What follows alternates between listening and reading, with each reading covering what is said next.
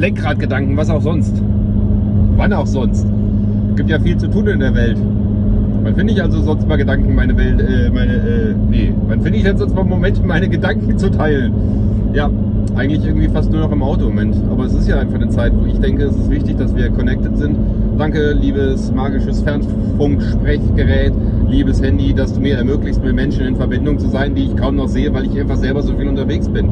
Schön, wenn du auch selber unter, viel unterwegs bist und etwas in die Welt bringst. Das ist wichtig gerade, Mensch. Ja, das hat mir wieder das Arabella gezeigt. Echt, das ist so verrückt. Ja, und ich darf lernen und ich darf anpassen. Dornenreich kriege ich manchmal die Schwitzhütten nicht voll. Melden sich gar nicht so viele an. Jetzt am 2. und 3. November darfst du mir zeigen, dass es anders ist. Vielleicht bist du mit dabei. Hey.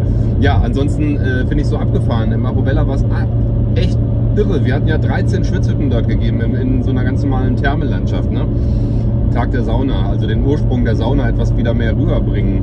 Ja, zeigen, dass es auch ja, der Ursprung der Sauna darin liegt, dass es nicht nur der Körper ist, der gereinigt wird, sondern auch die Seele. Klar, das gibt es auch in jeder Sauna heute auch noch. Klar, in der Schwitzhütte mit einem etwas anderen Fokus.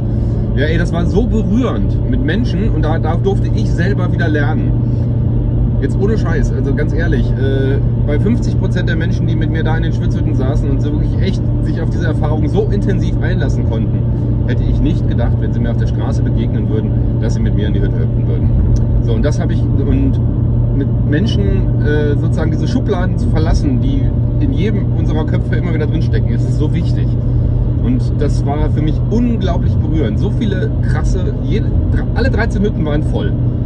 Alle 13 Hütten haben die Menschen verlassen und waren nachher beseelt. Natürlich gibt es auch mal Menschen, die dann nachher sagen, okay, habe ich mal kennengelernt, also ganz meine Welt ist das nicht und das ist doch super.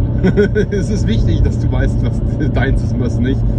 Und äh, ja, aber so viele andere Menschen wirklich berühren zu können, äh, wo man, wo wir, das ist, Schwitzhütte ist für mich eine der Antworten auf das, was gerade der Zeitgeist ist. Lass uns nicht so viel von Medien und dergleichen irgendwie so pushen und ja, mit Panikmache und so weiter. Schaff lieber Friedensinseln in deiner Welt. Ja, lass uns das weitermachen, ey, da habe ich Bock drauf. Ich bin, so fahre ich weiter beseelt, äh, auch etwas müde ist, vielleicht merkst du das. Ähm, etwas müde von diesen zwei Schwitzhüttentagen, die natürlich für mich auch echt Anstrengungen sind. So, wenn ich mir überlege, sechseinhalb Stunden in so einer Schwitzhütte verbringen und nicht nur da drin die Zeit verbringen, sondern einen Raum halten und Menschen abholen und ja, das immer wieder neu. Das war natürlich auch kräftezehrend.